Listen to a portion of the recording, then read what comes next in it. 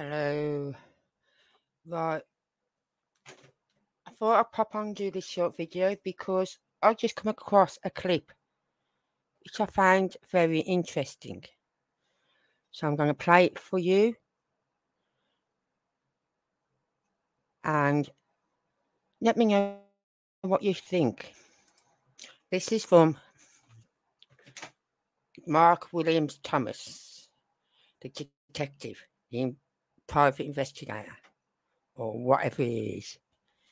But it's three, four minutes, 54 seconds, but we're not playing it all. Honestly, I'm not. Jay Slater family detective tells exactly why area body was found is dangerous. Early in the search for their missing son, Jay Slater's family were joined in Tenerife by former police detective Mark Williams Thomas as attempts by local authorities to find him proved fruitless. Over the coming days and weeks, he investigated several leads gathered on the island and became a pillar of support for Jay's mum and dad, Debbie Duncan and Warren Slater, as he tried to answer their questions. Today, in news Jay's family have been dreading, Civil Guard officers announced they had discovered human remains near Masca, which are feared to be the missing teens. Here, Mr. Williams Thomas, who has previously handled a number of high profile missing persons cases, reveals in his own words what the, the last four weeks have been like for Jay's family and exactly why the area where the body was found is so dangerous. Four weeks to the day after Jay went missing and his family never giving up hope they would find him alive.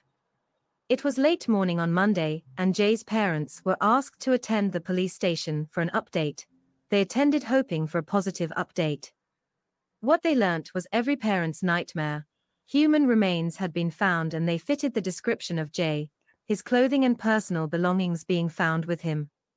To compound the devastating news even further, he was found at a pretty inaccessible place not far from the spot where Jay had sent his location to two friends shortly before 9 a.m., four weeks earlier to the day.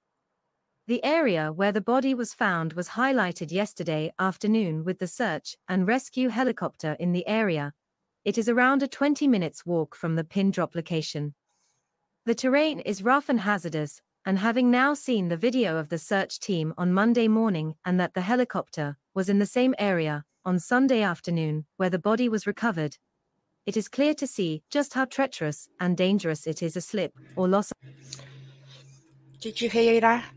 The helicopter was in that area where his body was found on the Sunday afternoon. However, they didn't find his body till the Monday. So, please, why was a helicopter up there?